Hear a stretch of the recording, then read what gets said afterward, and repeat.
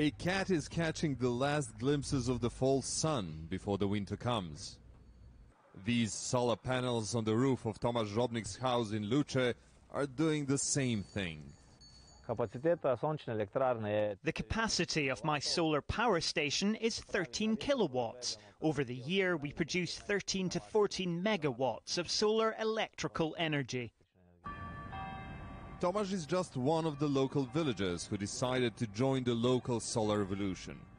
It features solar panels on roofs, a charging station for electric cars, a huge battery pack for the village, biomass central heating for public buildings. All of it is part of the revolution. It's practically self-sustainable with the electricity that comes from the solar panels. We have a huge battery that charges when there is enough sun and empties when there's no sun. The area is self-sufficient, with the solar panels making around 84% of our electrical energy needs. The steps help individuals reduce installation costs and at the same time provide more supply stability. Access solar power that villagers produce is stored in a huge battery pack inside this building.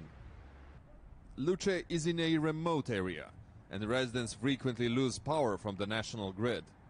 Now, when that happens, those batteries are providing them with the electricity for three days. And all of that was achieved with some clever solutions from Petrol, Slovenia's leading supplier of fossil fuels. Distribution system operator said that the whole this part of Luce village who wanted to participate in the project all together could put only 10 kilowatts of solar power plants on their roofs. With our tools, with our um, smart uh, smart grid technologies, with our models and algorithms, we were able to increase this to 100 kilowatts. In spite of its name, Petrol is deciding to go green and gradually started switching to non-carbon based energy sources. A decision that has brought positive changes to the village of Luce. Privately owned solar cells, communal batteries, LED streetlights, electric bicycles and cars, biomass central heating. Is this the future in making? Who knows? But it seems that for sure might be a step in the right direction.